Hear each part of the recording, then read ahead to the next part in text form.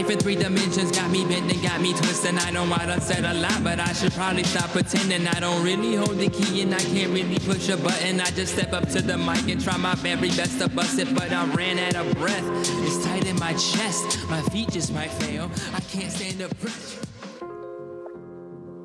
What's going on, everyone? Welcome back to Racially Speaking, where we have real and honest conversations about race as it's viewed through the lenses of faith, family, and vocation. As always, I'm your host, David Phipps, and um, no John Mark today, um, but rest assured, um, worry not, I am joined by another good friend, um, old friend, much younger and better looking than me, but old friend because we had not seen each other in um, man, far too long. So I'm extra thankful for for Zoom that we can just uh, zoom him into where he spent uh, a lot of has he where he spent a lot of his life um, on this side of the world. I guess you're not from the other side of the world, but anyway, we'll get into that.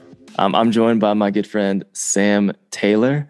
Um, Sam, thanks for being here. I always butcher the intros, man. So I want you to introduce yourself. Sure. You wear a lot of hats. So tell our listeners a little bit about who you are, um, specifically try and hit on faith, family, and vocation. And we're obviously going to unpack all of those a little bit. So thanks for being here, man. Yeah, David, thanks. Thanks. It's, um, yeah, it's really an honor to, to, to be on. Um, yeah, as David said, um, old friends, I, I'm originally from the UK. I was born in in, in London, uh, grew up there until I was 18, and I moved to the States to Radford um, in 2014. Um, I played uh, tennis at Radford. I was on tennis scholarship, um, and through that, um, I got involved with Athletes in Action and Cru and uh, a local church, and really came to faith in in um, in Radford. So mm. yeah, so that that's awesome. Um, so yeah, tennis first. And then I realized I didn't want to leave Radford. So I applied to their master's program in communication and did my master's there in strategic communication um, and got some experience doing some graduate teaching um, alongside kind of after tennis kind of finished. And then I realized I enjoyed teaching and I applied to do my PhD um, to a few programs and I got in at Ohio University in Athens, Ohio. And that's where I am now. Um, yeah, I'm in my third year. Uh, I finished my comprehensive exams yesterday. Oh man, um, has it been three years already? Oh my gosh. Yeah, two and a half years. I moved here in the summer of 2020. Okay. So like peak COVID. What a summer. And uh, what else is going on? Uh, I recently got married um, six months ago, uh, Emily, and yesterday we got a puppy. Yeah, I was gonna say first and foremost, I saw you got a puppy. Let's let's, let's see her. Her, yeah.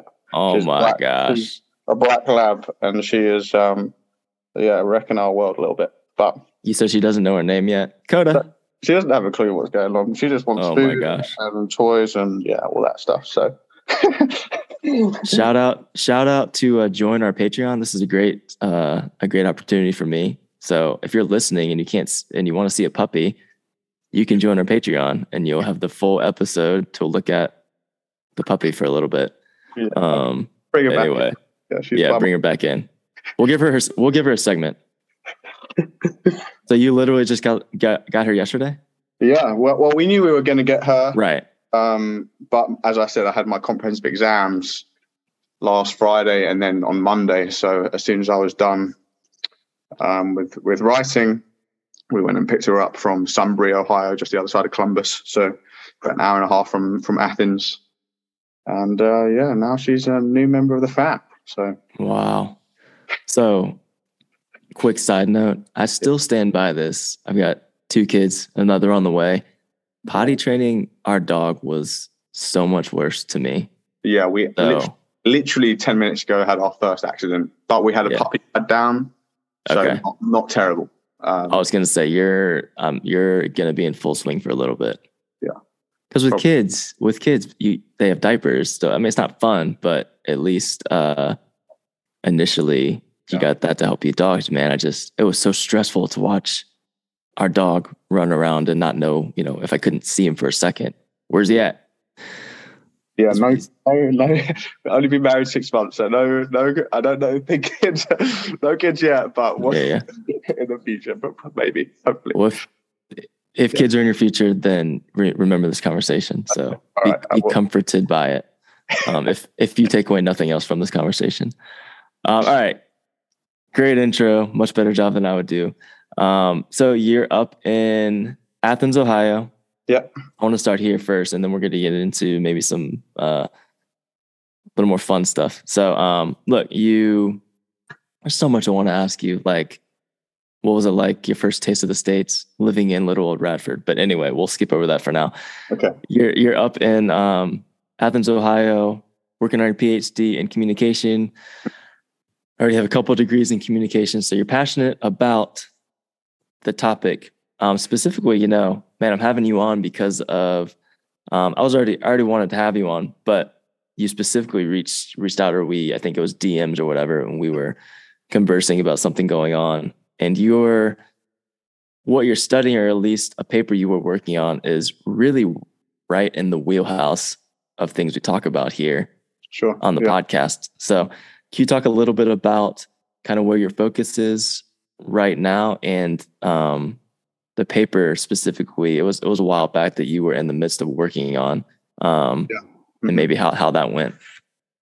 Yeah, so if it, if it's the paper that um, I'm thinking of, it was last semester. I was taking a, a methods course in content analysis, which basically like counting various things. Anyway, our um, my specific area of research that I'm interested in is religious communication, um, and I can get into that a bit more. But yeah. for this specific project, we were looking at the January 6th Capitol insurrection, uh, 2021. Mm. And, um, um, basically looking for ties between that and Christian nationalism, the presence um, or the co-presence um, of of these symbols of potentially Christian nationalism um, and various other things. And the way that we looked for that was in mainstream and leading Christian news sources. So we took um, which which are because that can that can mean a lot of things. So yeah, so so we looked at um, online articles from um, the two kind of sides. We looked at Fox News and CNN. Okay, so we okay. looked at we took a bunch of articles um, immediately following. So in the January, the rest of that month of 2021, from CNN and from um, and from Fox News, um, and looked at and looked at the, the content of those for um, how blame was um, kind of responsibility was attributed along with um, were there any symbols or mentions of Christianity? What was the or Christians and how were they implicated? Were they held as responsible, etc., etc. So looking them across the two kind of um, news sources, and then the third the third one was looking at Christian um, reportings of January 6th, right? So we looked at okay. we took articles from Christianity Today, uh, Christian headlines, and a third one, which is evading me. I can't remember what it was. Okay. So we, look, we looked at articles from the January right after in 2021, and then we took articles a year later. Um, so in the January slash February of 2022, and okay. kind of compared.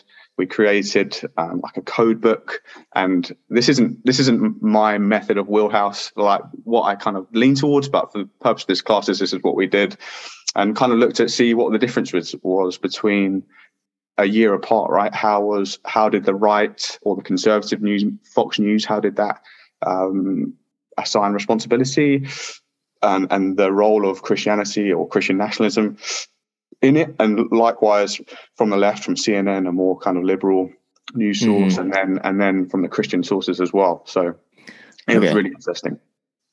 What um, I mean, obviously, I want to know what you found, but what do you mean the difference? Like that's an interesting. I don't think I would naturally think that that's what you would be looking at with that specific topic. So like I would just assume that like a CNN and a Fox News, yeah, n- not much would have changed based on what their intentions are or which way they're leaning. I mean, what yeah. what did you expect to find, or why is that the angle you went with? Um, well, we were really looking at kind of the co-presence. This is a bit I missed out. It's the co-presence of Christian nationalism and violence. Okay, so looking yeah, okay. Um, of how kind of these were framed Um, were there was Christian nationalism and violence kind of in the same place? Was it being was there a link between them, kind of thing? Um, but the interesting okay. thing was over. So the ones that were immediately following the January the, the event, it was the the attribution was there was a lot of different responsibility, m- mostly kind of like Trump supporters, um, or if if it was um, trying to minimize responsibility, it was like, well, these aren't like this is un-American, or this is trying to shift the blame, if that makes sense. Mm-hmm. Um, but mainly speaking, there was an agreement between CNN or Fox News that yes, one, this was violent, um, and two, it was largely Trump supporters that that were doing this. However, the interesting thing was between CNN and Fox News is that there was very, very little mention of Christian nationalism, if at all, in these. From in from main, from either. From both. Okay. Yeah.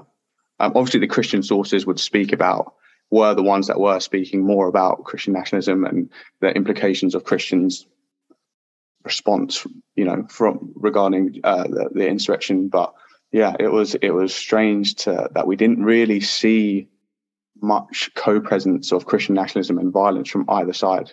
Responsibility came up, but not so much what we thought we were going to find.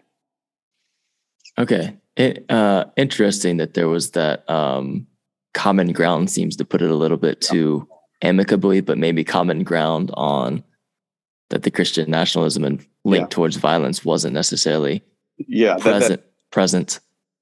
Yeah, yeah, that was that was in the the the first set so in the Jan- in the immediate response, however, the year the the interesting thing from if we if we kind of move forward after our first kind of draft of this paper was that the year later, the conservative news sources were really blaming the left basically and um, minimizing responsibility.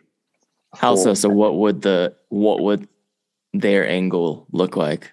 What would that claim look like? That is the left side.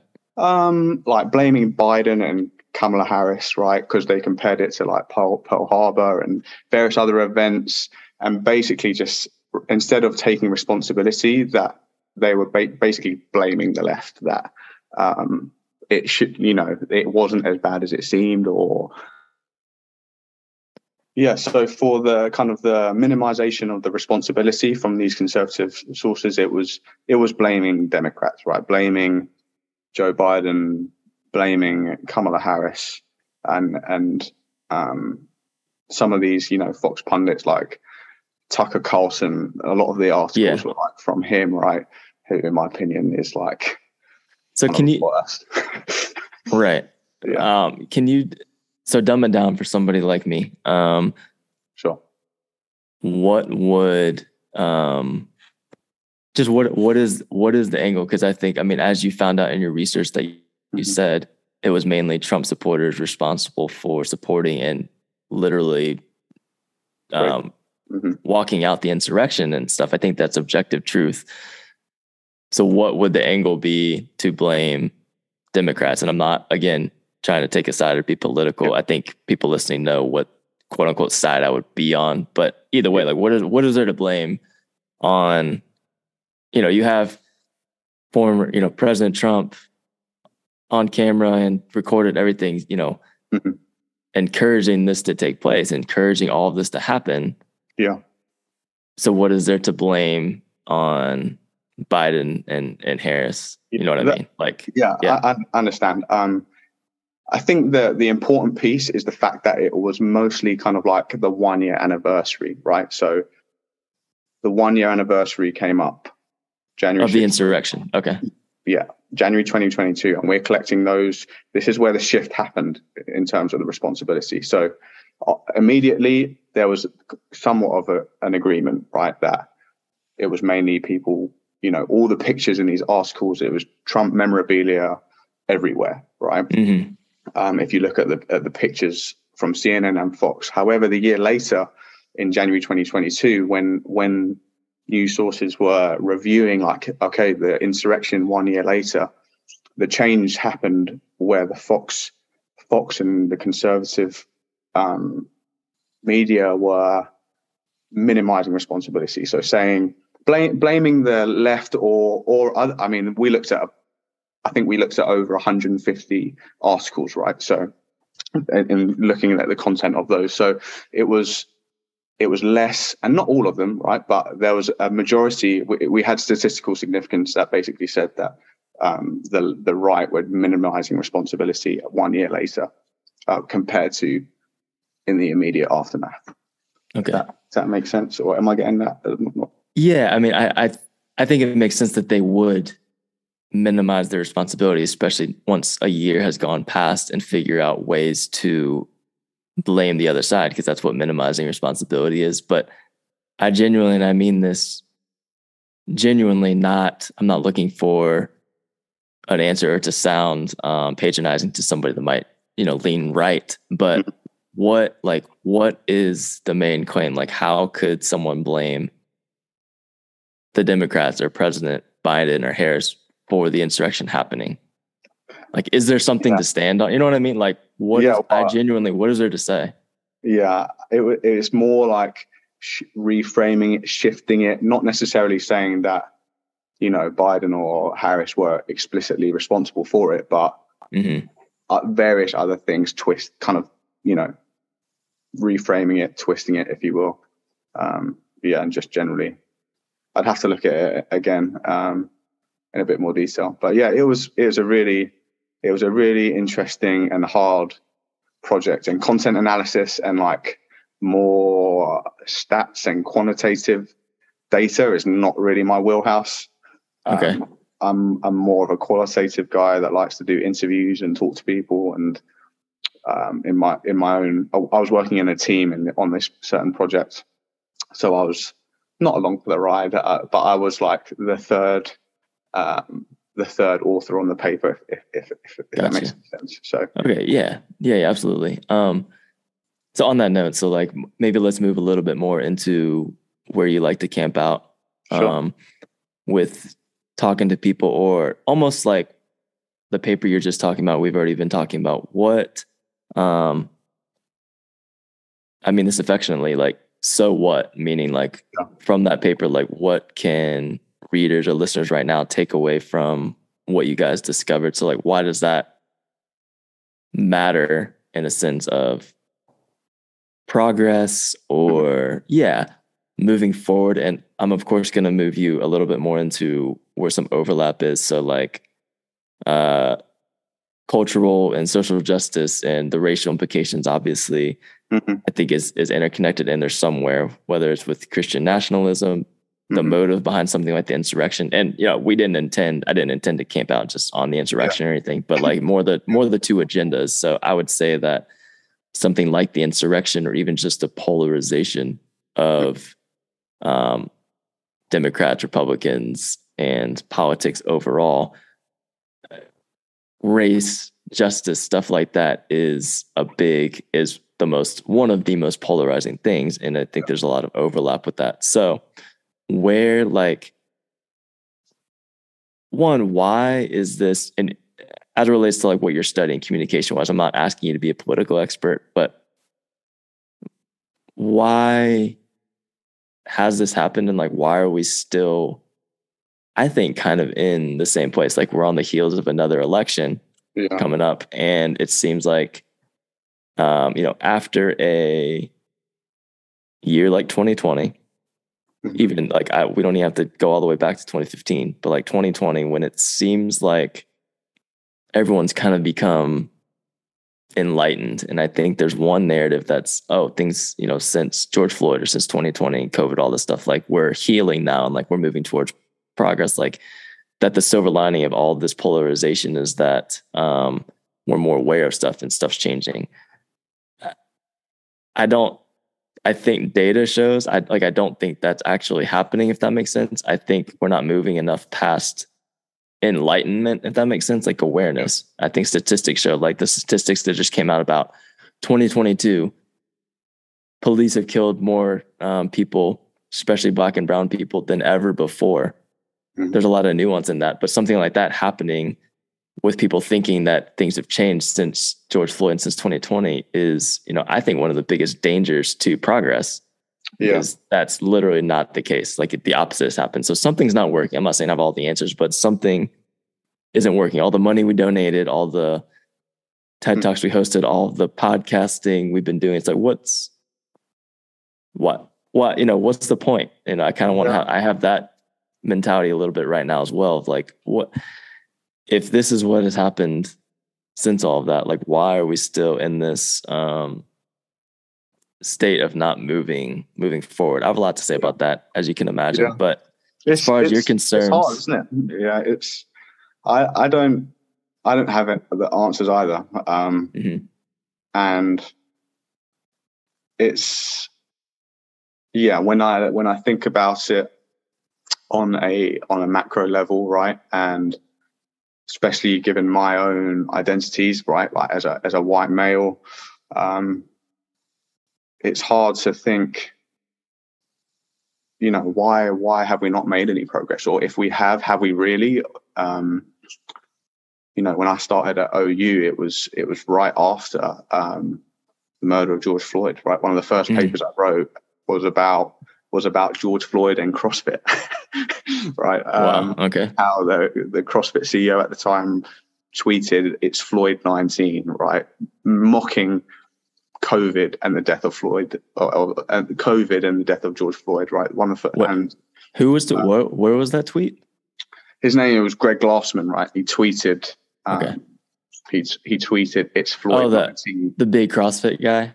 Yeah, he was the he's the guy who started it, right? So right. Okay, I remember all that happening. Yeah. So then after that, there was a whole, you know, basically the whole like, organization almost fell apart. Athletes were, you know, dropping Mhm. out left, right, and center. And um, yeah. and now what? 2023.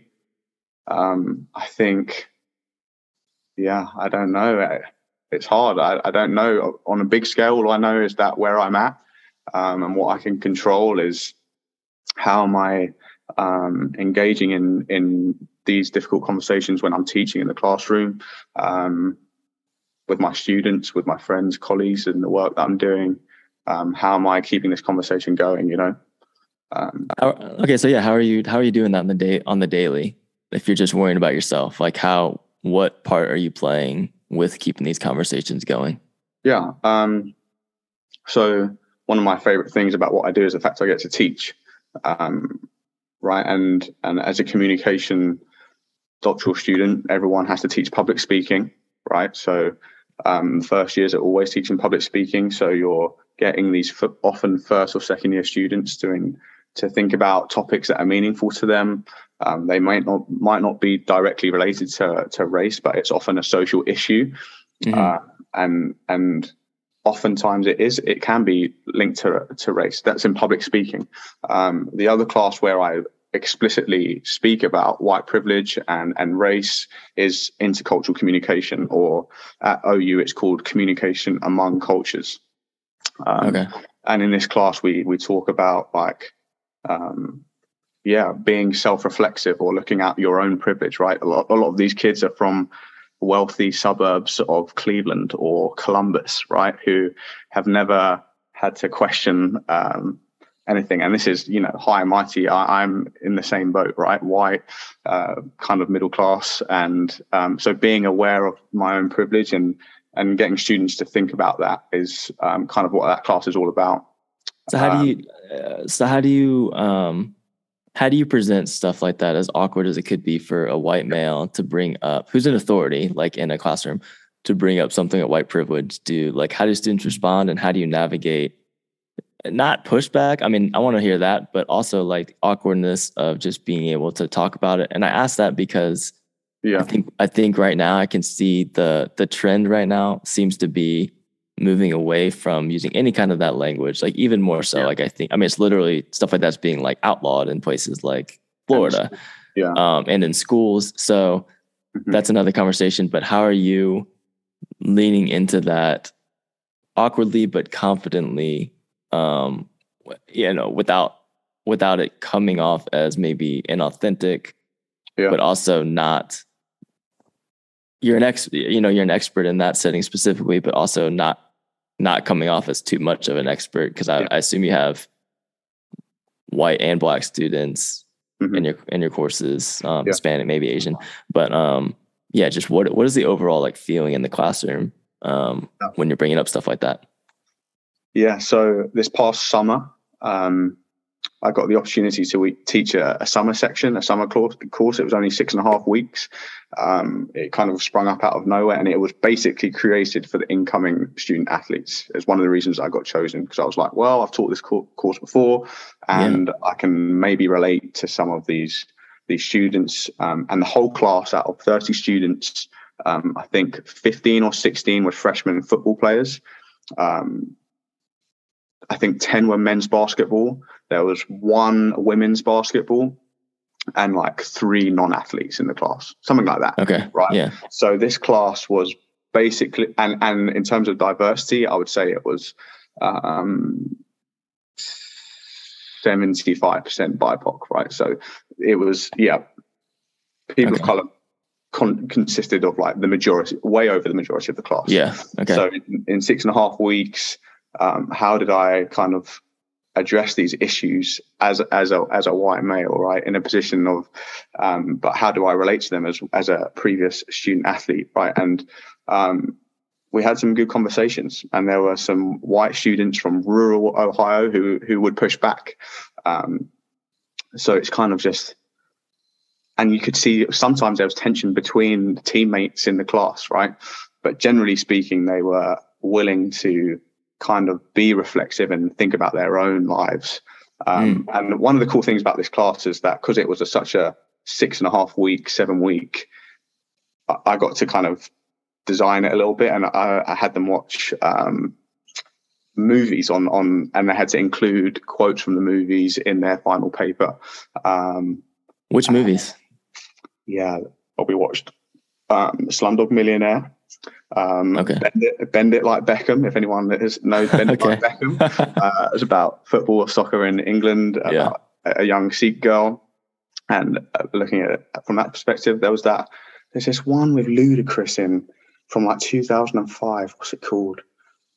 It's really intense. Um, uh, Crash. Crash. Yeah. Yeah. I had them watch that. Yeah. Yeah. Fantastic um, movie. Yeah. So they they watched the whole of that. And I mean, this was three days a week for two hours a day, right? Because it was an intense course. So on the mm. third day, after we kind of done lecture and activities, it was movie day. And it was Crash, Slumdog Millionaire, Bend It Like Beckham, My Big Fat Greek Wedding. I had them watch. Oh, yeah. Yeah. Um, so it's an eclectic, uh, eclectic group of movies. That's, yeah. Great yeah. Picks. There was another one as well that was um, um, about, it was, it's that guy's in Japan. Um, I can't remember what it's called now, but um, so yeah, that that was one cool. That was one of my favorite experiences teaching because I got to engage with these students. Um, did they as, have to do? A, yeah, did they have to do any self reflection like afterwards? Like, did you see by the end that did you feel good? And I'm not trying to say how, yeah. like, did you do a good job, Sam? But like, did you feel like okay? I think you know perspectives of across the board yeah. were for the positive yeah, I would say their final papers, right? They had to take cl- class concepts such as um, right ethnocentrism, right? Seeing seeing culture from your own your own you know understanding, right? Viewing your own mm-hmm. culture as superior compared to others. Um, so maybe they tied that to an example from um, one of the movies we watched, right? Or personal examples in their own lives. They could use use personal examples and tie it to class concepts, and, and I did see that in their final final papers and. Um, That's great. Yeah, it was meaningful to me because I remember seeing a football player like this offensive lineman at the gas station, like after the class had finished, and like mm-hmm. you know he mm-hmm. saw me and came and dapped me up, and like yeah, cool. got to you know uh, form some relationships. Um, like I don't normally run in circles as football players. Um, sure. So what about last question on this part? What um did you feel like the white students specifically that were maybe given a little bit of pushback, even if it was just in in their body language. Even did you feel like by the end they they were in step with you a little more, or yeah, did you feel yeah. like they were still pushing back? I mean, I'm not going to change someone's complete, uh, or my goal right. is to change someone's complete, you know, or persuade them in six and a half weeks. But yeah, I think that they saw where I was coming from and where the, how the class and the textbook were used Um, I think they appreciated it, um, even if they still held on to their own convictions, or you know, if if you're from rural Ohio and you're from a real small town, smaller than you know, um, somewhere like Radford, it's going and you haven't been exposed to diversity at all, it's going to be pretty difficult. Um, but I think yeah, some awareness and reflexivity were the main kind of skills in in that class, which is I think really valuable. Okay. Yeah, man. Okay.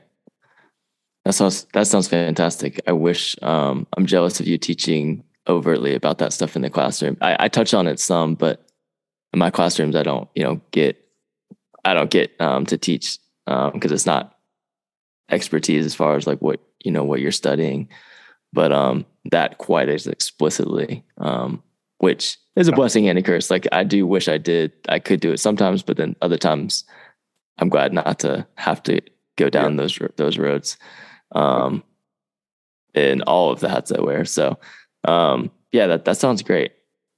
Um all right can you talk a little bit about um I've written down here with uh, your journey with your faith with Christianity from moving from the UK, yeah, deciding to you know pursue Jesus. Um, you found you know local church here in Radford, all while navigating American Christian culture at the same time because you yeah. came from not that culture to in this mm-hmm. culture, and then like you said, you're living through one of the most polarizing times ever. And then would you like put a little bit of a bow on it and say like give us give us man you're the phd guy so like give us some advice like what is missing in your opinion like how can we move the needle and move past some of this and i'm asking you to speak a little bit collectively like and it can be your personal experience mixed in with your academic yeah. studies of okay where like you've mentioned nationalism or christian nationalism we've touched on politics um, yeah. the classroom, stuff like that. Like, what do you think is your elevator pitch for solving where we're at?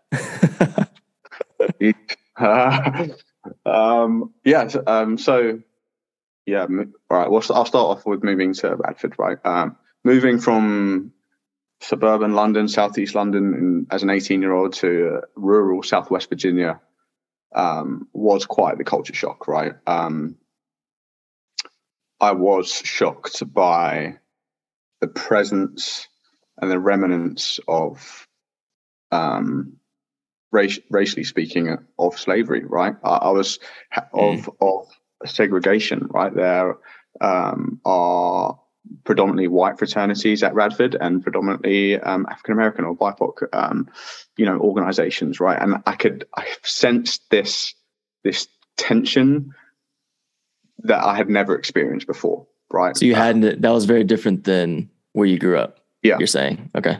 Yeah. Extremely different. Um, so navigating. We're good. That, Sorry. I don't mean keep interrupting you. So I want to, do you mean different, um, in a sense of you weren't exposed to a very diverse, very diverse circles or different in that you were around diverse circles and there wasn't that tension? Yeah, that I was. Uh, you, okay. you, know, England in, in sorry in London specifically, it's extremely diverse, right? Very. Um, like my elementary school and my the school that I went to um, prior was uh, really diverse, and um, I mean, there's diversity in Southwest Virginia, but it's just how the social groups um, kind of clung together was was diff- completely different that I hadn't mm. I hadn't experienced before or the demographics, I should say. Um, so that was gotcha. uh, that was eye opening in terms of um, in terms of race and, and, demographics, and then in terms of Christianity, right? Um, that shook me as well, right? From going to cookout where you've got Bible verses on your takeaway cup to um, explicitly Christian um, churches on on every corner. I never the thing that AIA or Athletes in Action was so um, so why I got involved was I'd never experienced the you know the tagline of we talk about God, life, and sport, right? With with people who are fellow athletes. I'd never experienced that before. I was just you know tennis. That was it. There was no. Um, yeah. That was really appealing to me. Um, and then Cru, getting involved with Cru and and BBC, um, and the relationships that I built through those organizations were, were um, really kind of what led me to to Christ and um, my relationship with it with him now. Um, yeah. Yeah. So what was it? That was great. What was it like? Um, because I think this can inform where we're at right now. Navigating your faith journey, which was a positive thing, um, with um, and maybe you didn't feel this at all until more more recently after the fact um, of getting involved, but navigating um, the positivity of you coming to know know Christ and Christianity at the same time as the entering into the polarized culture that we're we've been talking yeah. about um, with and I'm just going to assume like is it is it fair to say that you're in your understanding Christianity um, it's fair to criticize the role that historically and and recently some that oh, yeah. Christianity has played a role for the worse in um in all of this. So well, I don't know what was it like to experience both at the same time of like the freedom and the life changing journey it is of deciding to follow Jesus while also critiquing the negative side of it all at the same time. Cause I think that's just that's very interesting to me mm-hmm. um to hear what you would say because I think that in the midst of polarization, people most people would say they're on one side or the other on that. Yeah. Uh, or at least not sorry, not most people, but it can I think more people are in your spot. But because of polarization, all we hear about and see is that, oh, everyone, you know, all the left leaning people are leaving church and then all the right leaning people are oppressing everybody. And it's there's nothing in between. And I think there is a lot more in between, but we want to disengage and not talk about that yeah. And I do see why that is, but also I I'm just I'm not wired that way. I got to talk about it. So. Mm-hmm. What was that like for you or still is? Yeah, so um I didn't really I think I'm going to go and say that I think Radford is a bit of a bubble, right? Um mm.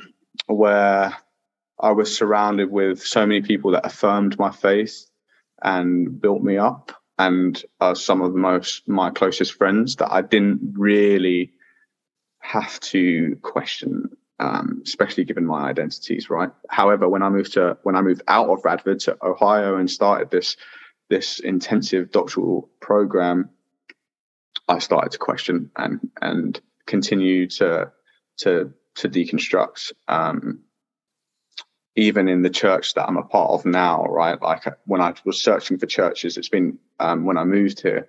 Um, I had I went to one church for a little while, and and left because I couldn't. They weren't meeting me. You know, I, am in this super liberal, left leaning um, doctoral program, and then I was going to this uh, non-dominate, non-dominational, basically white evangelical church, and it was around the 2020 election, and I wanted okay. to have these conversations. Yeah. And no one was meeting me in the middle, and I was like, "This is ridiculous! Come on, give me, give me something, okay. yeah. give me something." And and um, my dis- my dissertation topic, which is moving away from January 6th, but is the uh, the main topic is the millennial disidentification with uh, Christianity in America. Mm. Um, so that's what I'm that's what I'm really interested in. There we go. Yeah. So main topic is the millennial. So folks born from 81 to 96 is the kind of window because um, according to Pew, Pew Research, that is the demographic that is leaving and and exodusing, if you will. Um, 18 to 26, you said. Sorry, 80, born between 1981 and 19, oh, uh, yeah, 1981 and 1996. Millennial, okay, basically millennials. Gotcha. Yeah, yeah, uh, yeah. Disidentifying, leaving, exiting, um, and that's not just like I'm talking about people that we both know who were, were in Cru with us right? Mm-hmm. Who, uh, or with me, my my year groups, um, some of my close or uh, who were close friends who uh, no longer claim Jesus, right? Mm, um, yeah. So it's pers- it's personally affects me. So that's one of the reasons why I'm doing this because um, it's not just something that's happening in society. It's it's happening yeah. in my in my reality, right? With Absolutely. people I care about. So um, So where how does that that's great. Appreciate you sharing that. And listeners apologize if there was a we had to cut out for a second. I think we picked up where we had left off, but apologies.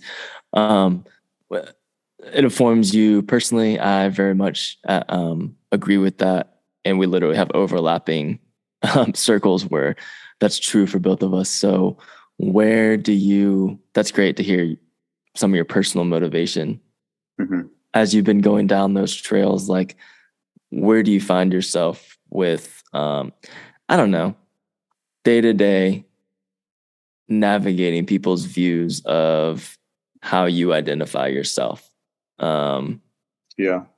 Uh, somebody has never met you and you know you bring up your faith and your church affiliation christianity and your studies like where do you um i don't know is there anything because we're talking about polarization is there anything that first you could speak to that is maybe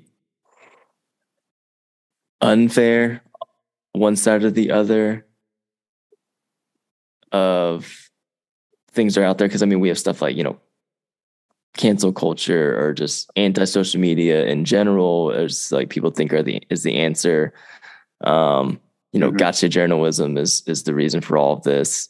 Um i, I don't know I, i'm trying to figure out how to more eloquently put that but yeah is there anything that's uh just like okay this is not actually what is happening mm-hmm. this is what's happening instead or the other side of things where you would just say yeah all this is fair and here we are yeah, um, I, the way that I can kind of speak to that is more kind of in in my studies uh, or in in in academia, right?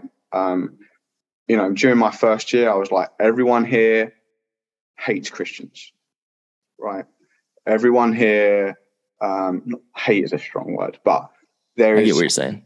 Christianity is, you know, it is frowned upon. It's oppressive. Um, it's um, telling people that they can't be true to themselves, whatever that means, right? Um, or can't live the life that they, um, you know, lots of identity things, and I, I, can go into that. So, and truth and questioning truth in in in everything. Um, so that was really really hard for me during kind of my first year here of like I'm a Christian in a space where Christianity, where it is not not only welcomed but like really looked upon negatively. Um, mm-hmm.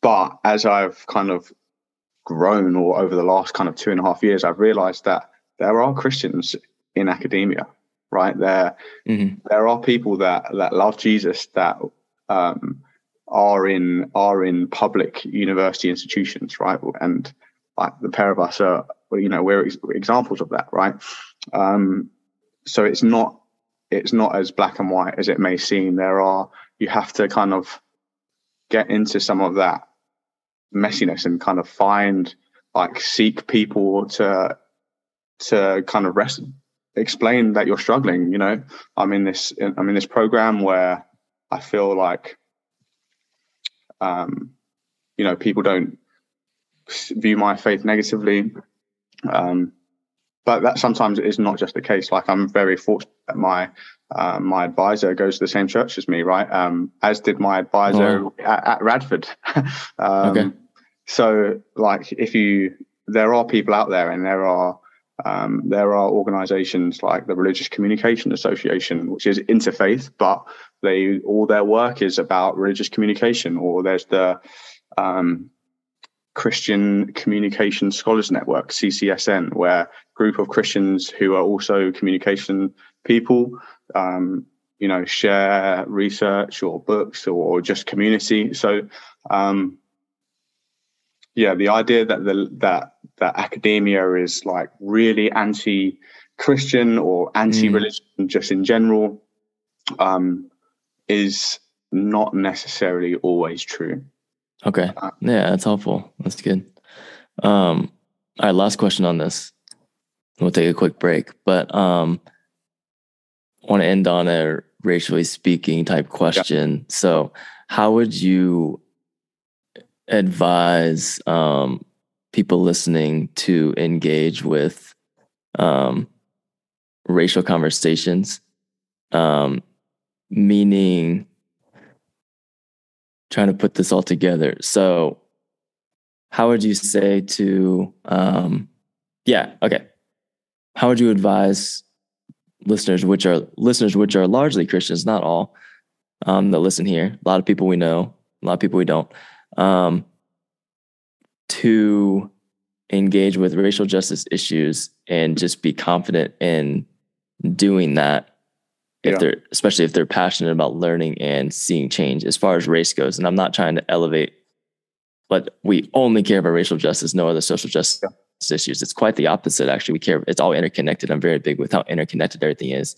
But i'm also convicted in a sense of race is just almost always the exception where people pump the brakes and say oh we're not you know let's not let's not go there i can get behind you know caring for the orphan or even sometimes you know caring for um, um, women's rights, which I advocate for as well. But you know, just race historically is just always, in my opinion, the one that where people pump the brakes. And so, how how would you advise people to just confidently, especially share the same faith as us, engage with racial conversations without being afraid of, oh, I don't I don't want to be associated with you know um, the abortion conversation or um, you know um, LGBTQ mm-hmm. um, IA conversations and stuff like those conversations are all valuable, but how to not have deer in the headlights if something like race and having conversations comes up. Yeah, that makes sense. Yeah, yeah, no, yeah, it does. Um, because I think you're doing this.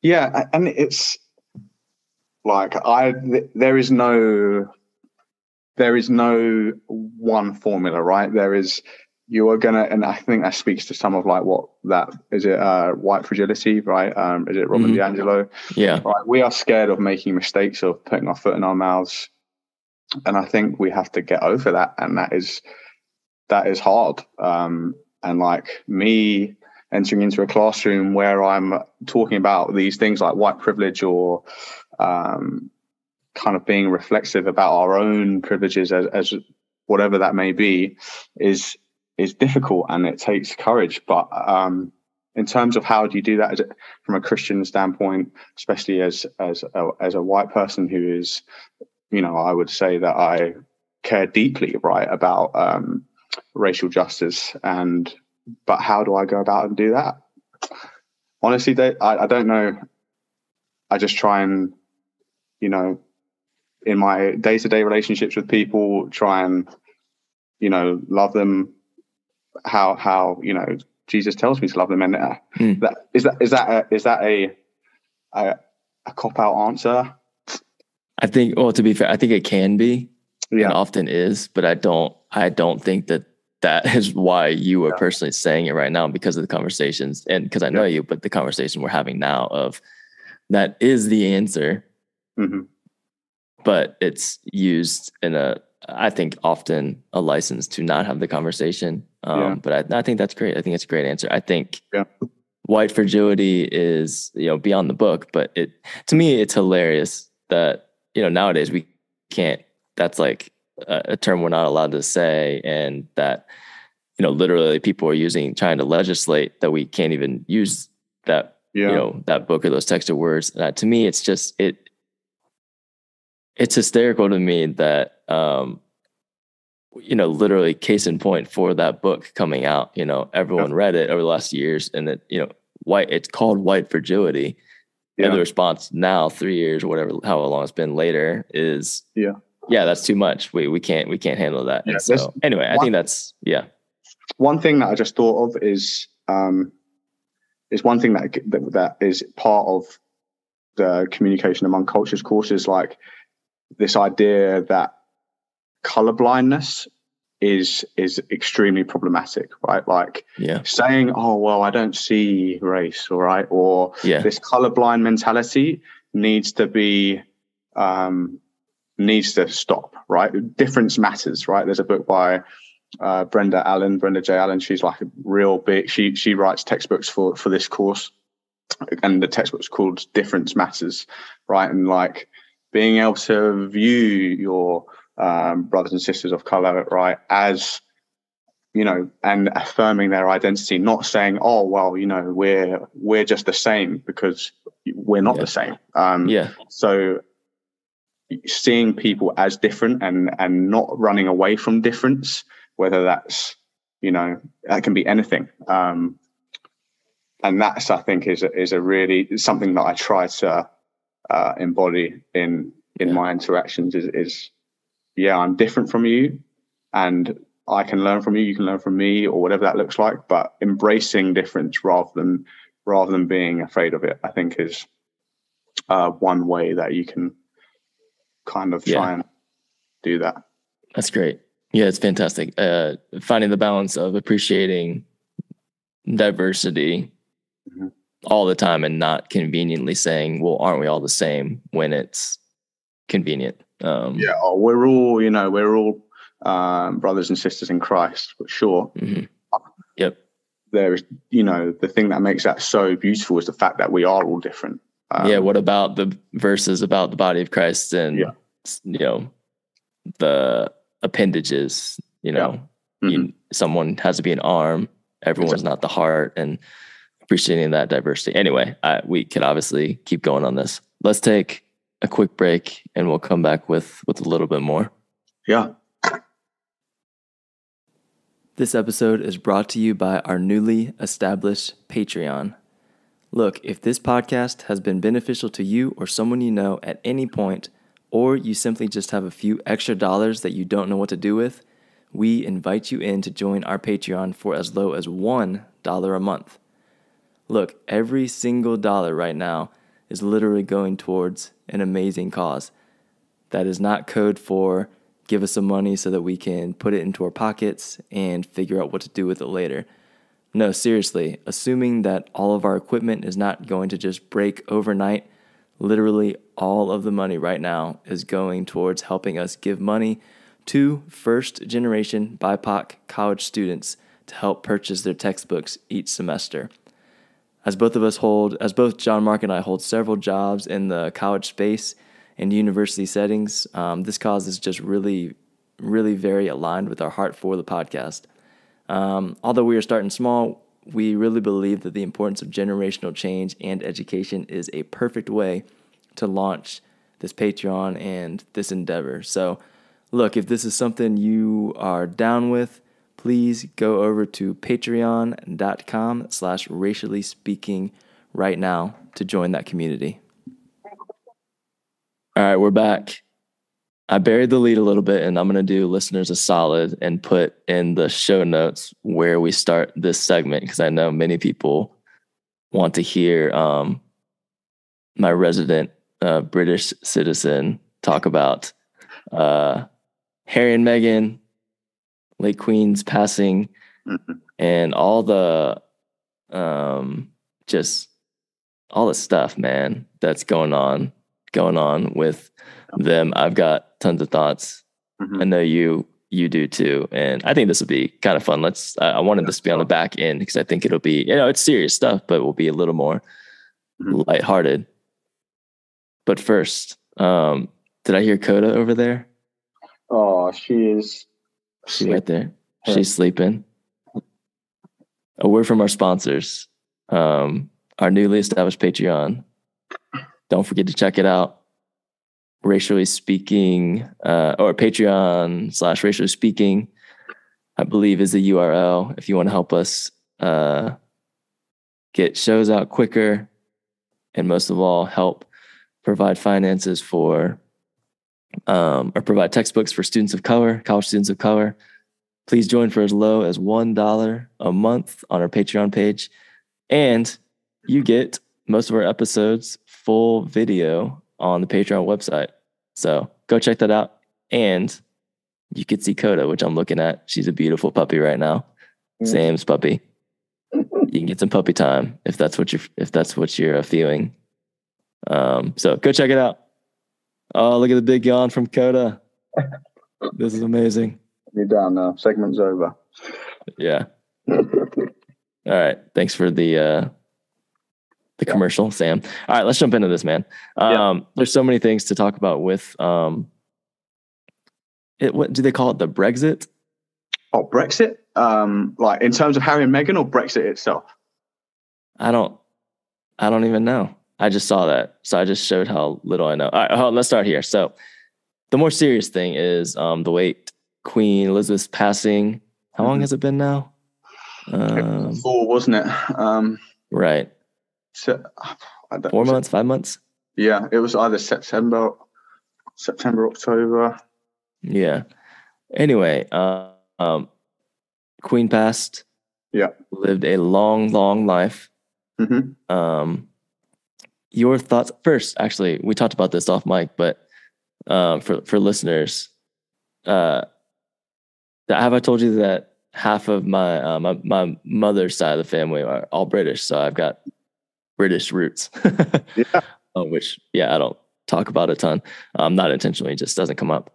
But uh, anyway, so that informs a little bit of where I'm coming from with some of what we'll talk about. But thoughts, your thoughts and feelings, um, as a citizen of the UK, um, on Queen Elizabeth's passing.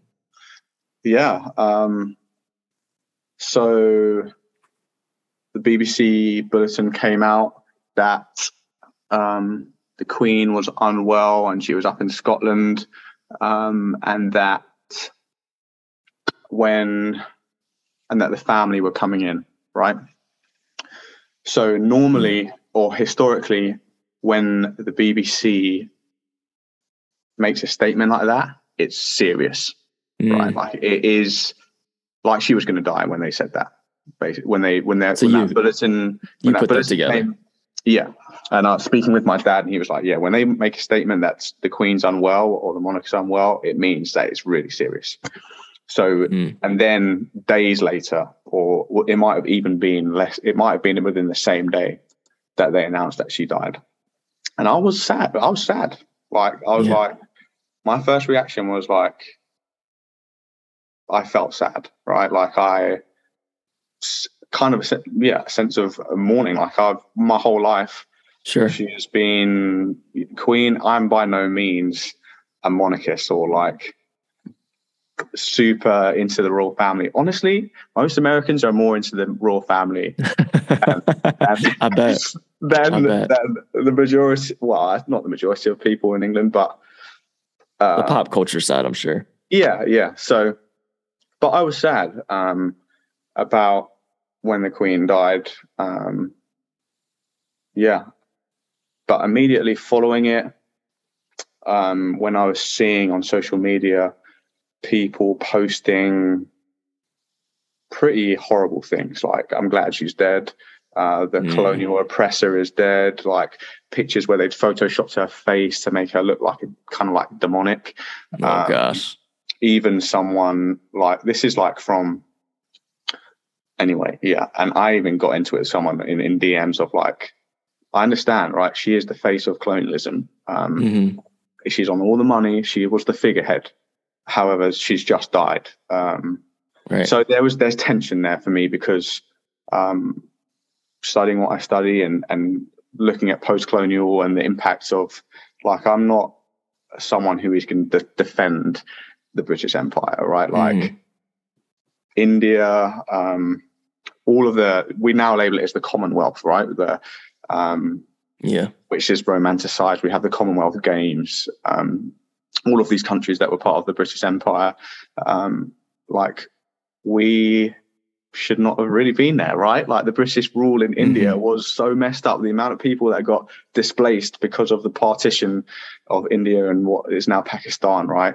Um, and I get into this with my family members when I go home, who are kind of imperialist, like proud, uh, and speak highly okay. of you know yeah. British rule, uh, etc.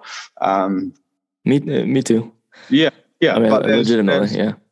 There's it's it's tension filled, right? It's she she ruled with grace and, and decorum for 70 years.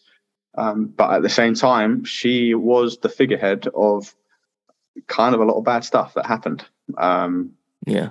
Whether that was up to her person like you know, her personally, and sure, a lot of under her reign, a lot of it, all of these countries became independent. Um, so but generally speaking, I was sad when she died.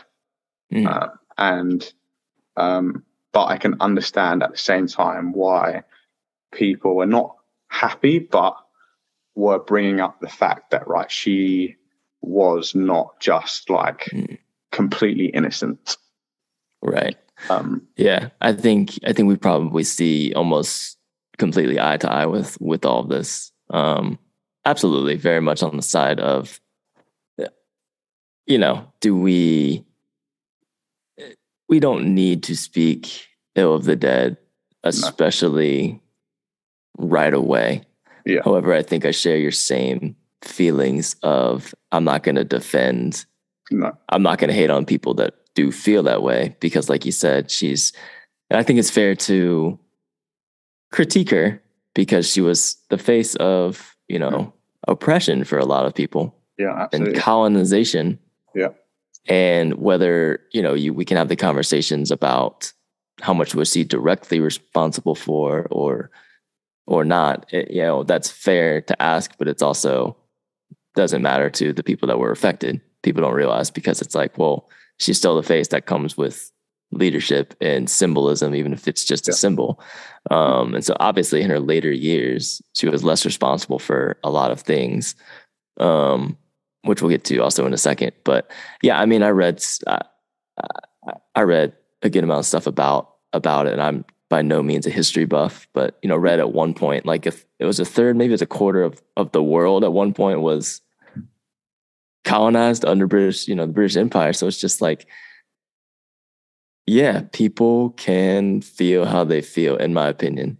And, you know, they there's there's gotta be nuance to it, but I'm not gonna hate on an entire people group for yeah. celebrating. I don't mean disrespectfully or irreverently celebrating, but feeling like a weight was lifted. Um yeah. When she passed, like I, I, I understand what you know oh, I shouldn't say I completely I understand, but like I get what what is going on there. Yeah. And I I listened to something uh, Trevor Noah said, which I think he actually, you know, people think what you want, but I think he said a, a few things that were how, that I thought just made sense. And he was just like, you can't expect people to now respect somebody that never respected them. And I yeah. think that's putting it lightly. It was beyond not respecting. It was, you know, yeah, it was colonization, displacement, yeah. all like history. Mm-hmm. And so I, I think we probably see eye to eye on the nuance with feeling after someone like Queen Elizabeth passes. Um, but yeah, that was great. So, all right, moving on to the juicier stuff that I think people would, will want us to talk about. So, all right, um, Prince Harry, yeah, and Meghan. Mm-hmm. This, what was the word he used? Uh, it's not applied the same way, but this. Um, they well, they disengaged. They exited. Disengaged. Right? Exited yeah. from. Um, Disidentified. Yeah. Cut their ties. Yeah. Left royalty essentially. Um, but I mean, they did that a while ago, right? This is right. a new thing. They this isn't moved to California or wherever it. They moved like over a year ago. Yeah. Yep. But are obviously getting a lot of attention right now with the documentary Harry mm-hmm. and Meghan on Netflix. If you haven't watched that, um, Spare, Harry's book that just came out. Um, they did the Oprah interview last year, um, which was shortly after they moved. Um, and obviously, it's been in the headlines and news for a while. So a lot. We're not going to cover this um, extensively, um, but want to talk a little bit about it. So, what are your thoughts on this happening? Because, like you said, you you know, you said you're not a monarchist Yeah. you can see the in between of what's going on. But there's a lot of feelings, man, about mm-hmm. this happening, whether it's being just it's selfish or disrespectful to the crown. It's selfish on Meghan's part. I think is is one side of it, a big narrative, and then, um, but the other side is you know she was essentially experiencing abuse and yeah. not not physical, but um, and was mentally unstable. And then Harry, his growth journey through understanding her experience led them to literally leave. Um, and it didn't come easily. They didn't just, if you've watched or read anything about it, it wasn't just, all right, we got a piece out of here. It was like they had to like fight their way out Um, lots of stuff to talk about, but what overall have has been your feelings throughout following that? Yeah. Their story. Harry, Prince Harry has always been my favorite, one of my favorite, my favorite royal. He's rebellious, right? He, Okay. even as, as a teenager, like as a kid, old ladies would come up to me and say, "Oh, don't you look like Prince Harry?" Right, and like pat me on the head, right? So Mm. maybe it's because I've read, I've read you know, whatever. So I've always been drawn to Prince Harry. Um, Meghan Markle, I came to know through the TV show Suits, right? So I knew Okay. that's kind of, and then they got together, and it was, you know, dream wedding and everything. Yeah. Um, but something that is, I think, is important contextually to understand in terms of an American marrying into the royal family. Yeah. Give it to us. that- The only other time this this happened was the Queen's uncle, okay, who was a king, King Edward the Eighth, wanted to marry Wallis Simpson, who um, was a, an American socialite who was divorced. And he wanted to marry her, and even worse, they used to run run in Nazi circles. They went on, went on a Nazi tour in 1937. Okay, Mm. Edward, the Queen became Queen because her uncle abdicated, because the, the royal family would not let him marry Wallis Simpson, who is an American divorcee. Okay, Wow. so okay. um, some, that's that's im- I think that's important to this Sure. because um, she was a white woman, Wallis Simpson, but um, spelled W A L L I S Simpson.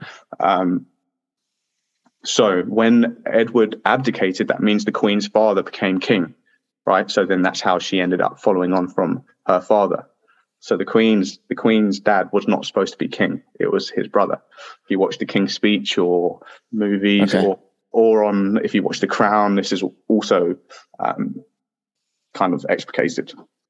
So then, so the track record of Americans trying to marry into the royal family is not good to begin with. Um, so Okay, they're- yeah.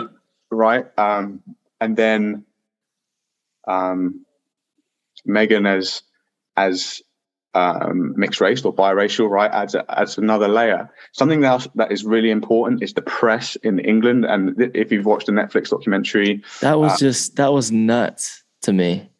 I had no idea yeah. it was that. I mean, I had no idea it was that on that level. yeah, Um, so you- and that it was think- that calculated. Yeah, you have to think, right? The, the United Kingdom is an island, right, with probably close to 70 million people in it, right? 60, Mm. 60 70 million ballpark. um, so that is a heck of a lot of people in this in this tiny space, right? Yes. So everyone is in everyone's stuff all the time. So the tabloid Mm. press, the tabloid press, which is kind of like where the paparazzi, you know, um, they're always in, and as the royals are always in the public eye, they're always and have always been in everything. Especially, you know, Diana. If you think about um, Harry's mum, right, the Princess Yeah. Diana.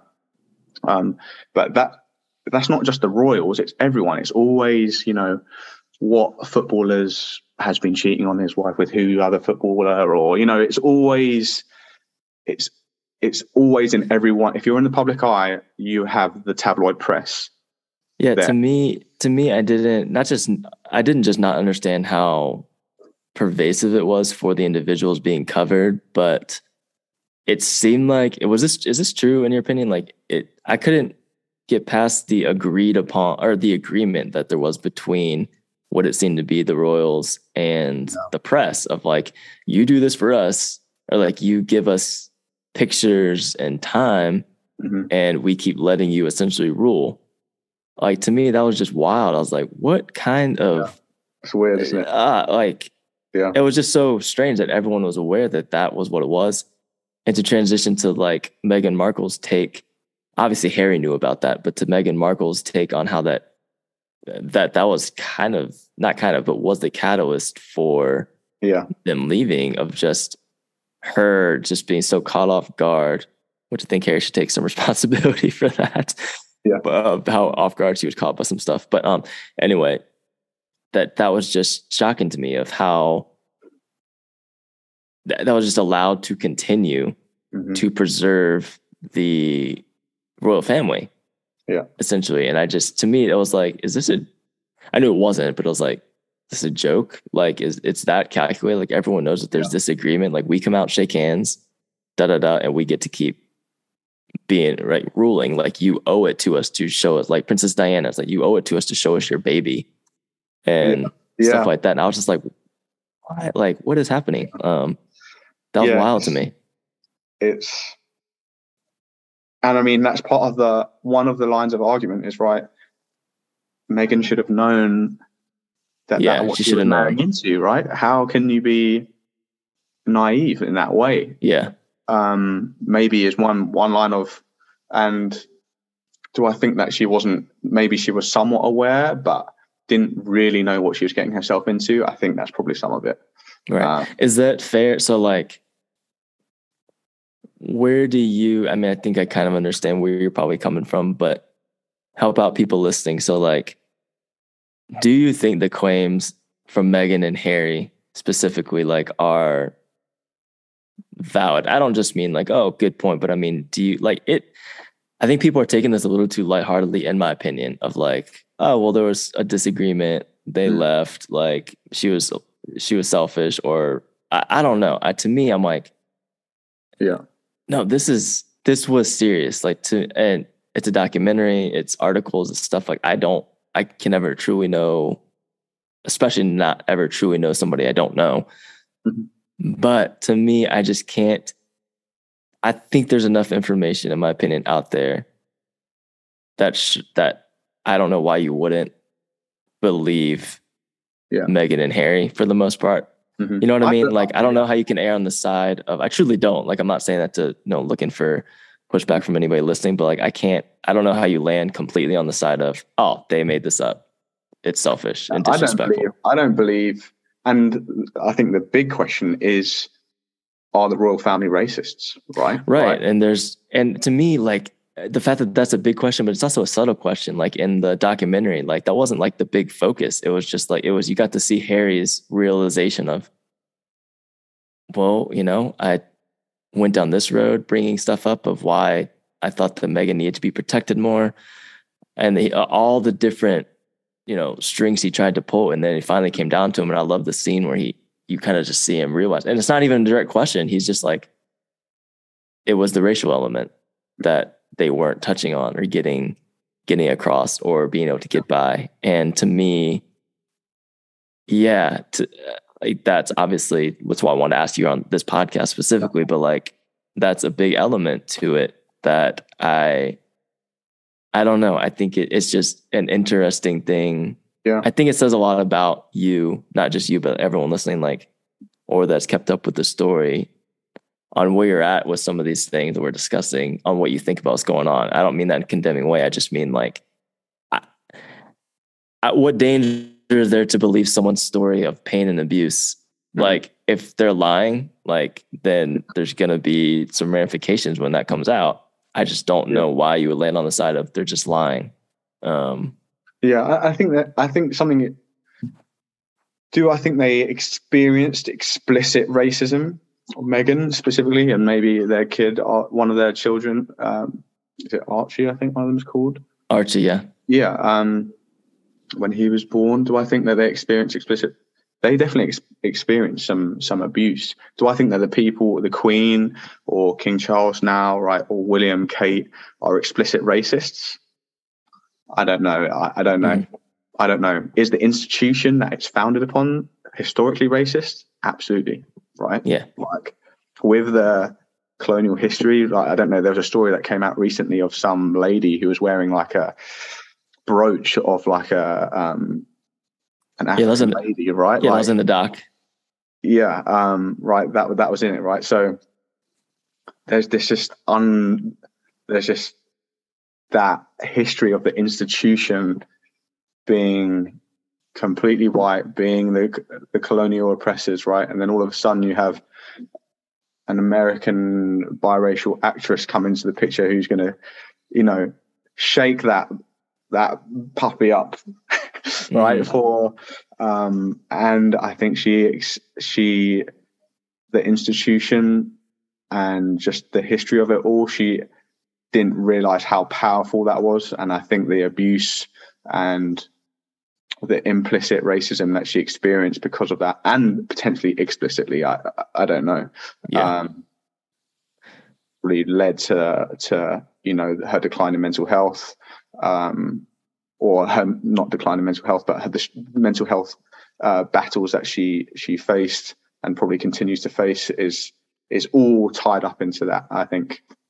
Absolutely. Yeah, I think it's pretty clear that she experienced explicit racism not directly from, at least Harry wasn't saying, not directly from, you know, the family. But to me, it was that, uh, you know, she had experienced explicit racism by the hands of, you know, paparazzi. And, oh, yeah, by the press. And, and citizens. Press, 100%, yeah. So then the interconnectedness to me is then when they requested protection and for help, that wasn't given. In fact, there's that one part. And again, if they're making this all up, fine. But then we're never, you know, why believe anything if they're making it up? So I'll just say this: like, if this is true, um, they are the part there that stuck out to me with the race, the race element. You know, they're bringing that to security and to the family and saying, "Hey, we need like, what are we gonna do about this? We need some yeah. protection, or we need you to stick up for us because they're publishing lies about us." The fact that that wasn't given tells says a lot. And mm-hmm. I think Harry's perspective on that, he picked up on that because there's the yeah. racial element because they it was it was pitting her against Kate and I, to me it sounds like those the two women had a decent relationship even but it was pitting them against each other in a sense of like they were um, willing to let the press um,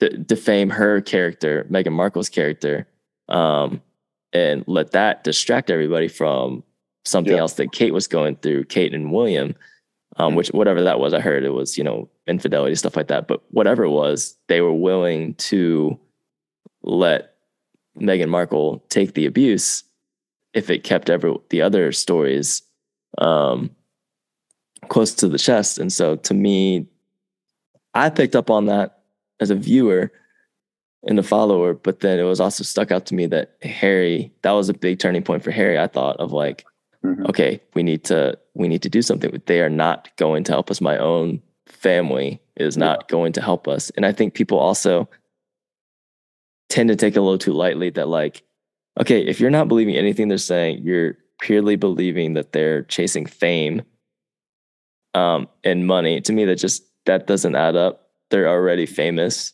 they already have money and he's leaving his family like mm-hmm.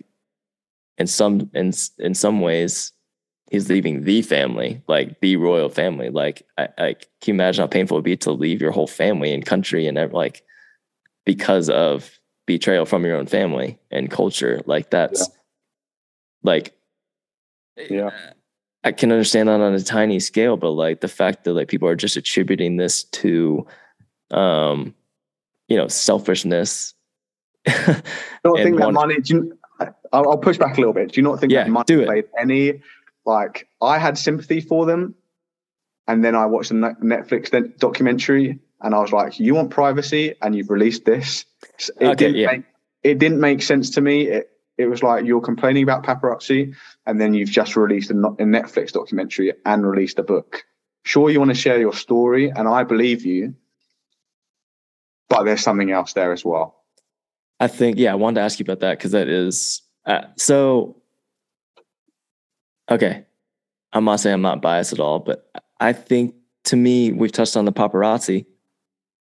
I don't, I don't think wanting privacy and somebody of their stature, mm. uh, and somebody their stature's viewpoint is the same as like, no. you know, you or I. So like, they no. didn't want to be abused by the paparazzi. We've already unpacked how mm. toxic it was. Like, it was like a they responsible for Diana's death. Like they are toxic to the maximum level death. Mm-hmm. Like they'll they will paparazzi you to death. Like yeah. literally. Yeah. And so and they were on the heels of feeling like that's getting ready to happen to us. Mm-hmm. Like it wasn't, oh, this isn't working out. We need to get out of here. It was like we we can't like we're gonna die. Yeah. like she con- she even contemplated suicide, stuff like that. Like and again, people want to not believe that. It is what it is. But like, so to me, they wanted privacy in the sense of we don't want to be in the royal family anymore. So they're always going to be famous. Like they can't. They're just on another level. And I uh, they I feel like for them, you know, peeling back is getting away from that. Like they're never going to be unless they go off and like which they did for a while and seclude and never see anybody else again. Like they're always going to be in the public eye. Yeah. But that's nothing over here. Like as I saw in the doc, like compared to British yeah paparazzi, especially being a royal family. So like to me, yeah, am I weary of doc documentaries that are you know produced and only done by the people in them? Like sure, like do I like is everything in that one hundred thousand percent true? Like probably uh, probably not. Like is it skewed to make them look good? Absolutely. But I don't think it means that all of it is just oh you guys just wanted to be yeah no, Amer- American famous type thing. So like to me, I'm just in the camp of they wanted to tell their story mm-hmm. because of how much abuse they've taken and how many false things I think to the level that no one none of us can imagine have been put out there about them. Um, yeah. so they wanted to straighten some things out. I think knowing that people are not everyone's not going to believe them or be on board. Yeah. I, I don't know. And to me, I don't have a problem necessarily with that they're sharing stuff and doing their advocacy over here. I don't know. I think my pushback to that would be like, what do you, what should they do? Yeah. Um, yeah. I do see the point. Like I see it. Like yes, it does. Oh, they're just doing stuff now that makes them more famous. But I think it's. yeah, I don't know. I just can't get yeah. past. I feel like Harry and Meghan, especially Harry, would have much preferred not to have to gone to this point, and now he's just living his life, and mm-hmm. they're famous. Yeah. So yeah. yeah.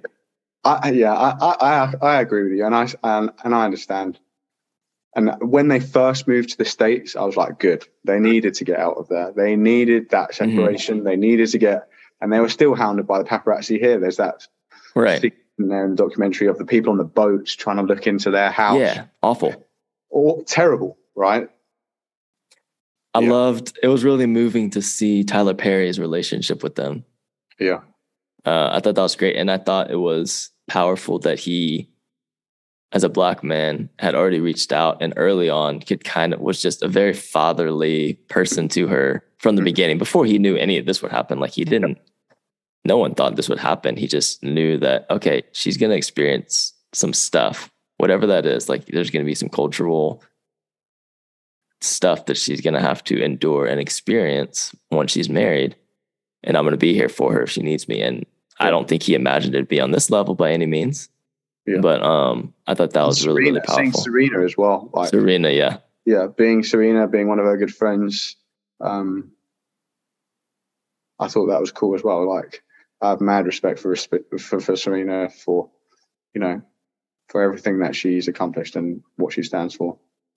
Absolutely, and I just think with Meghan, um, I think the energy and manipulation it would have have to take for her to be purely making even half of this stuff up would be so difficult. I'm not saying people aren't capable of some really terrible things, but yeah.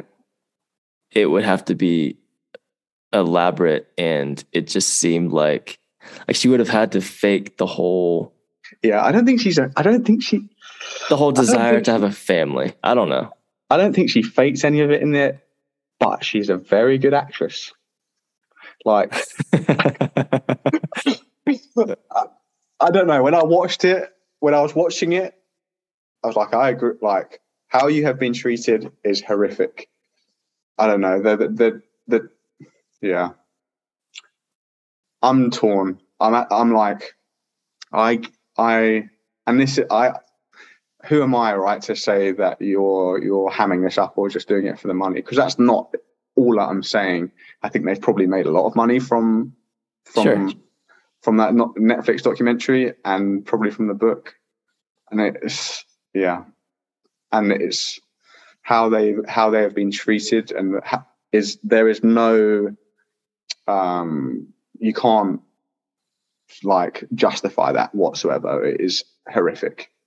So it's yeah, I, it's a tough one, and I support them, but at the same time, I was a bit. like when I when after I'd watched the documentary, I was like, Okay. What's kind of Yeah. like your what was the end goal here? Like, are you just trying to share your story? Yeah, I don't know.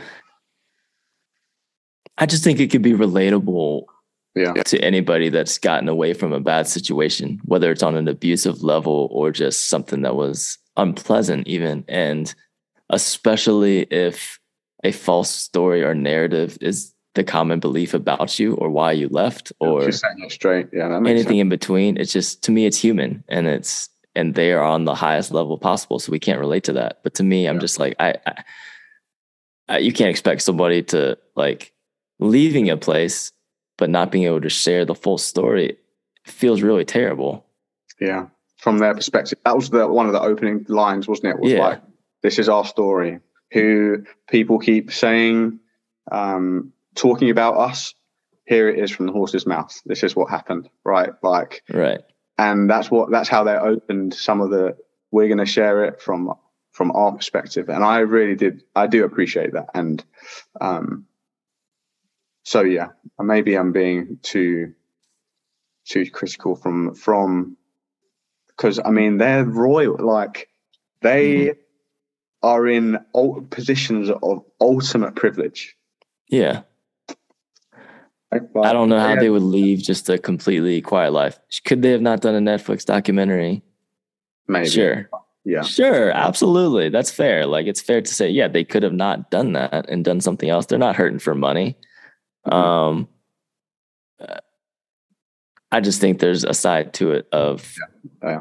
I I think it's I think that part actually the conversation could be a little like two different conversations more of like Mhm. I, I don't think it's purely motivated by money. Did they make money off it? Uh, yeah, of course they did. But does that mean that's the only reason they did it? not at all Absolutely not. Um, so anyway, I, I thought that was interesting, and I think that with her Yeah. her identity, we're getting off track, but like her identity as a mixed race woman and her her perspective was interesting, even on her own identity, because you kind of that's another thing that I feel like actually helps. Um, I don't want to say argument, but my perspective is like she. It's not like she came into the royal family thinking like, all right, I'm gonna wreck stuff because I'm a black woman. She's like she came into her racial consciousness throughout the process of like Yeah. because of racism. And that's I think more common than a lot of people think. She's like, I never, I'm very light skinned. I've never identified like or experienced, you know, I've never heard the N word. My mom's heard it, but I haven't. And uh, she never experienced explicit racism that she knows of Mm. and stuff like that. She always just identified as a white it for most of her life. And so like she had to start identifying and taking pride in her mixed race and black identity because that's what people were labeling her as. And I'm not saying that's a bad thing she did that, but I'm saying like she was empowered slash marginalized at the same time yeah because of the whole racism Mhm. thing. And so she's like, oh, I this is powerful to me that black citizens in the UK see me as representative of them. Like we talk about representation on here a lot of how powerful that is. It's not just a hold your hand, sing kumbaya thing. Like we want, you know, yeah be a They're bunch just shaking yeah up there. It's like, no, it's powerful. People are empowered when they get represented for the first time. And so I think that was really powerful to see her tap into that. And when she tapped it, like I feel like the timing of that to me speaks volumes about, okay, this really wasn't her intention, but now Mhm. she's leaning into it because it's like, oh, I this is a great opportunity to help people. Yeah. Um Yeah, I, it was, think um, it's yeah. go ahead.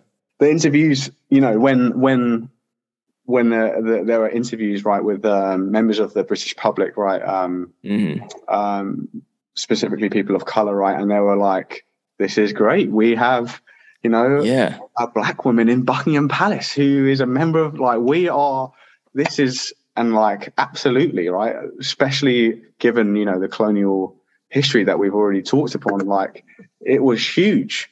But i don't think meghan was meghan had no idea what that the impact that that was going to have given hmm given the institution that is the royal family. Yeah. Yeah. Um, I want to honor your time, but I mean, kind of the last thing I'll say on this is like I mentioned, even my family, and um, so my, on my mom's side. So my mom, shout out to my mom. She's biggest supporter of the podcast. Yeah. Um, listening right now, I'm sure. But um, you know, aside from her, a lot of my extended family who will never don't even know this exists or will never listen. Um, I, I sensed a little. I could identify and resonate with some of what Meghan was going through on obviously super tiny scale. But as you mentioned, you're you're not a monarchist or anything like that. But in that part of my family, that's very much the uh, the sentiment is very much the queen can do no wrong, the royals can do no wrong, and that they're very much on the side of. And I've heard this from you know several other people of like almost like a shame on Harry and Meghan perspective. How dare they? Time and time. So like that's just experiencing that on a minuscule scale, and and resonating with it, and or linking that to what things Meghan was bringing up. I just that's a personal thing for me of like I just it's hard not to believe what she's talking about. Um, mm-hmm. uh, yeah, I mentioned you know that side of my family is British, and um, yeah, very very very British. I don't know how else to say it, but like I mean, that was if anything one of the biggest cultures that formed a lot of my upbringing, even. Um, and so like I I could kind of as this was coming out see a lot of comparisons and whatnot. So it's not just by a loose extension. You know, my family grandma still goes over to England all the time, and I don't even notice. But like, if my friends growing up were to meet my grandma, like, oh, she's oh, she's got an accent, she's British. I was like, oh yeah, yeah, yeah, yep. um, anyway, yeah. Um, look, man, this is uh, this has been great. I appreciate yeah. your time and your busy uh, studies or PhD life. How much longer do you have? Three more semesters, Lord willing. Um, okay. Yeah. So expected graduation is uh, spring 24. Okay. So, well, congrats, yeah. man. This is, you obviously are, um, I think, a, a really powerful voice and important perspective in academia. Um, in general, you're doing some, you're doing some really cool work. Um, I'm definitely going to keep using you as a personal resource. um, yeah, I'm super. Absolutely. Um, yeah, I've been really, really fortunate um, to. It's been it's been hard, but I'm so fortunate to have been given the opportunities, you know, through Radford and being able to study and even be here. Right, is um, has been a huge blessing. So, yeah, thanks for having me, David. It's been really meaningful, and yeah, I think we've had to, hopefully a good, meaningful conversation that people can hopefully chew on and disagree with and agree yeah, with. absolutely. Yeah.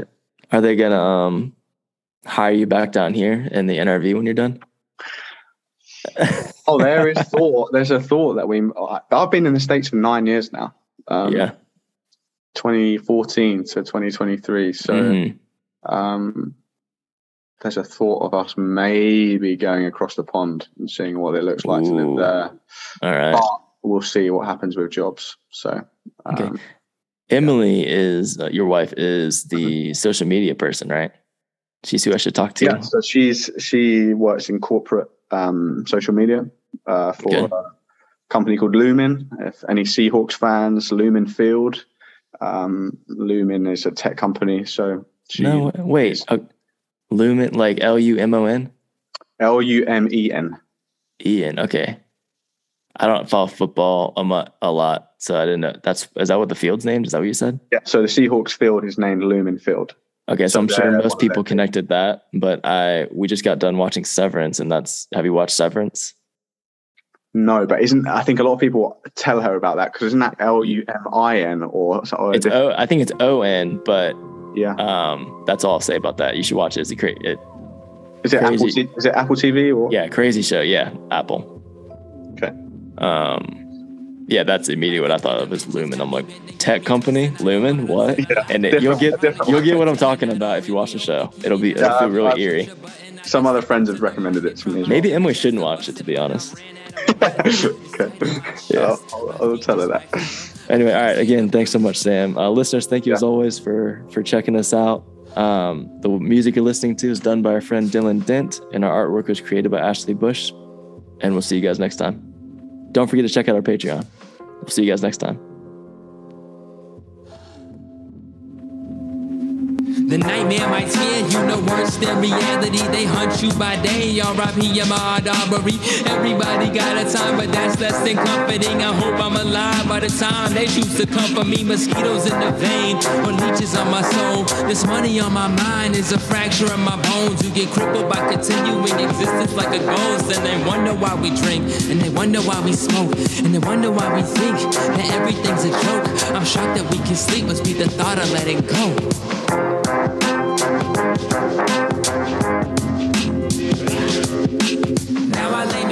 Sleep, I'm better with the valley.